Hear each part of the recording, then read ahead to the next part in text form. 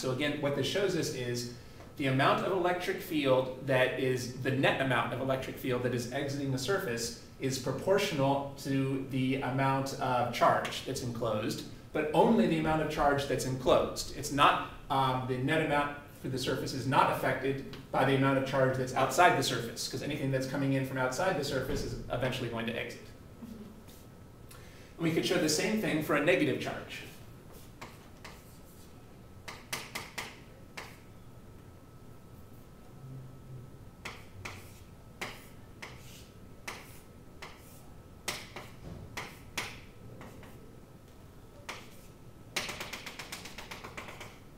You have a negative one Coulomb test charge here, well, here we would say that the net amount of electric field lines that is exiting is negative four, because nothing is exiting, everything is only entering.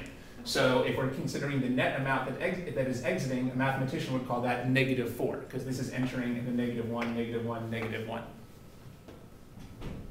But still, the amount of electric field that's exiting or exit, entering here again depends just on the amount of charge that was enclosed by the surface.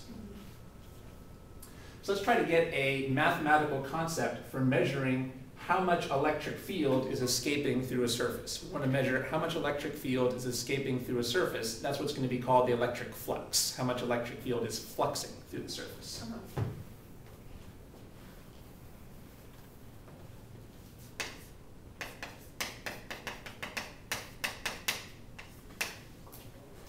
So now we have a new concept. I think this is the only new concept that we'll need this week, actually electric flux, and we're building on the old concept of electric field. Do you have to remember from lecture what the symbol is for electric flux? Um, no, I don't remember. Now we're going to use a Greek, excuse me, a Greek letter. Oh, right, okay. So this is the uh, Greek letter capital phi. I think you could also pronounce it capital phi. We can't use F because that's being used for force we can't use E because that's being used for field.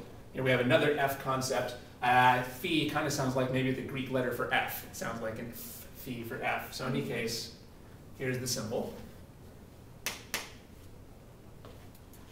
Now, this is going to measure the amount of electric field that or is exiting a surface, or the net amount that's exiting a surface. So what should it depend on? Well, suppose that the electric field becomes stronger do you think that that should increase or decrease phi? Increase. If there is a greater electric field, it makes sense that more of it will be exiting the surface.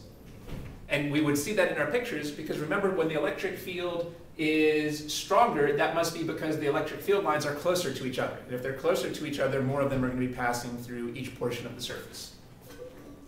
So should electric field go in the numerator or denominator for this concept? The numerator. Right.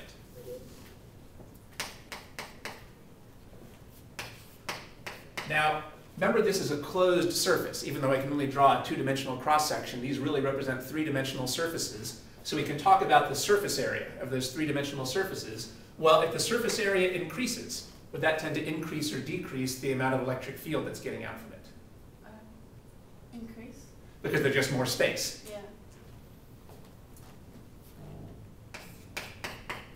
There should be a positive relationship between area and um, the electric field. The bigger the, the, the bigger the, the surface you're talking about, the more electric field lines can pass through it.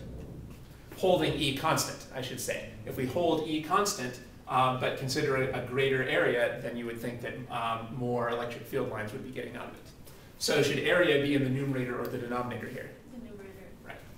In fact, there isn't anything in the denominator for this concept both of these things have a direct relationship on phi. In fact, they're both directly proportional. If you double E, you would double phi. Or if you double the area, you would double phi.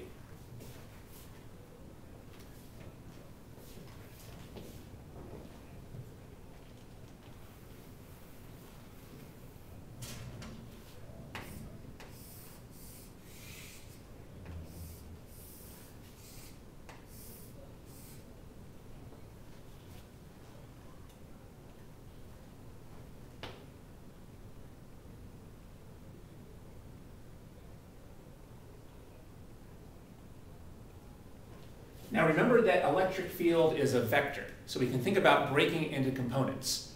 Well, which component of the electric field counts as entering or exiting the surface? Should we focus on the portion of the electric field that's perpendicular to the surface or the portion of the electric field that's parallel to the surface? Uh, perpendicular? Yeah, that's right. That's a little hard for me to draw, but maybe I'll just draw it like this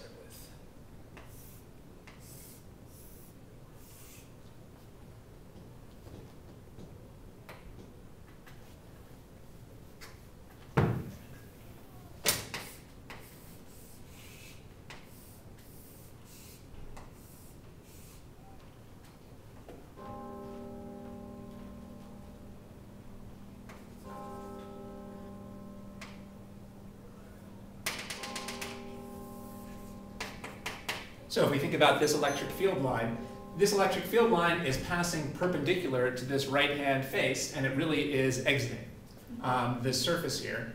But what about, say, this electric field line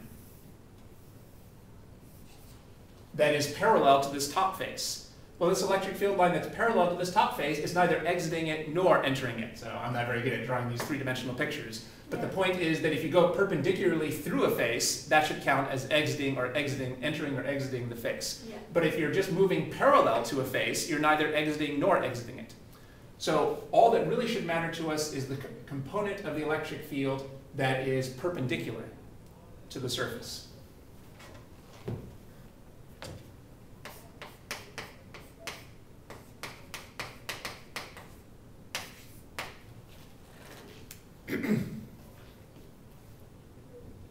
What do you do if the electric field has one component that's parallel to the surface and one component that's perpendicular? Well, you should only pay attention for this concept to the component of the electric field that is perpendicular to the surface, because that's the only one that can actually exit or enter the surface. The other one is just going to be skimming along parallel to it. Mhm.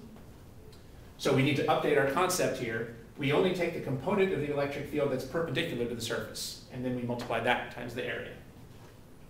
Right, now this is going to be a little bit tricky because um, here's what the mathematicians like to do. They like to invent a new vector called A, the area vector. And they say that A, the area vector, the magnitude of A is just the area of the face. Uh, and then they just make up a direction for this. They define this as pointing normal to the surface. Mhm. Your instructor might have talked about this a little in class.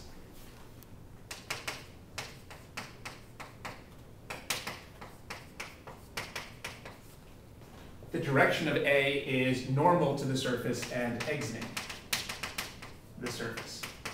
So the A vector should point away out of the surface. And this is just a definition that they made up, uh, because it, it turns out that it's useful mathematically to have this definition. So for example, well here, here's what the A vector would look like for this surface. The A vector for this surface would look like this, pointing perpendicular out from the surface.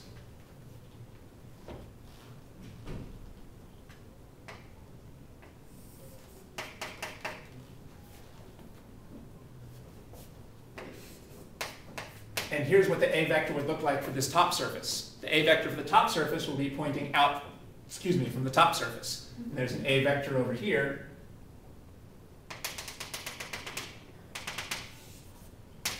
Pointing away from this left-hand face. And there's an A vector over here pointing down from this bottom face. So this is just a new definition for an A vector. So the A vector is normal to the surface. Well then, which component of the electric field should we focus on for the flux? Should it be the component of the electric field that is parallel to the A vector or that's perpendicular to the A vector? Parallel, I think? Yeah, you can see here, the component here that is parallel to A is the one that's exiting the surface, because the A vector is perpendicular. Um, whereas over here, I've got an electric field that's perpendicular to the A vector, which means we should ignore this electric field, or this component of this electric field. So we could rewrite this formula like this.